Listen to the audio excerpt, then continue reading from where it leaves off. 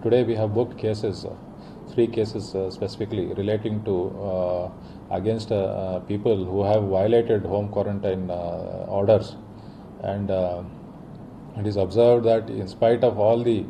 advisory being given by the government, and also in spite of Section 144 uh, uh, being you know imposed, and in spite of this clampdown uh, being you know enforced, some people are still you know loitering around, and uh, the, the, such people will turn out to be a risk uh, not only to themselves and their families, but uh, to the entire you know district of Kalaburagi. So. Uh, the police department and you know from our side uh, we are going to take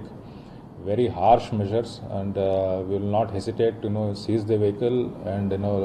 um, slap any case against such persons who are you know behaving in an irresponsible fashion and putting the entire population to risk. On which section you uh, under uh, section uh,